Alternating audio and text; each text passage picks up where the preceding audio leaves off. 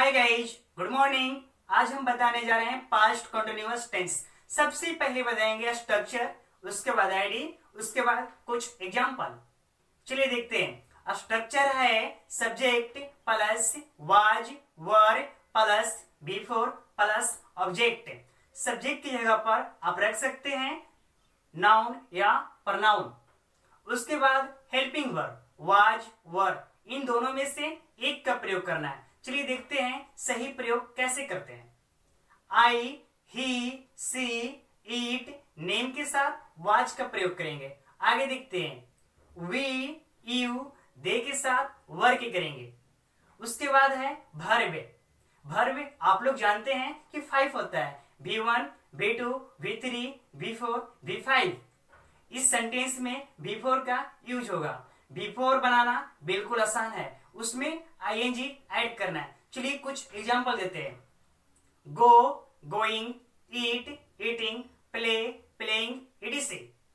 उसके बाद है ऑब्जेक्ट अगर हिंदी सेंटेंस में ऑब्जेक्ट का यूज़ हो रहा है तो इंग्लिश सेंटेंस में ऑब्जेक्ट का यूज़ करेंगे। वरना आपका सेंटेंस भर पे ही कंप्लीट हो जाएगा। उसके बाद आईडी आईडी मीन्स पहचान। आईडी है, रहा था, रही थी, रहे थे इडीसी चलिए एग्ज़ाम्पल राम, अंग्रेज़ी, बोल, रहा था।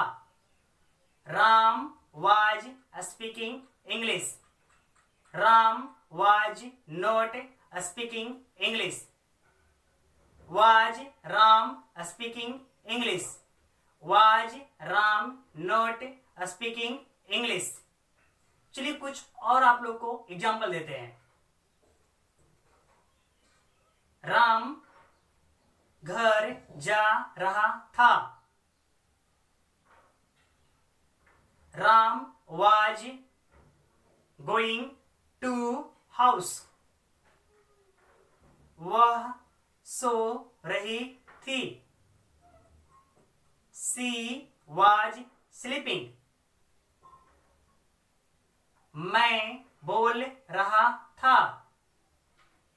आई वॉज़ स्पीकिंग वह खेल रही थी। सी वॉज़ प्लेइंग इस सारे सेंटेंस आप लोग बिल्कुल आसानी से बना सकते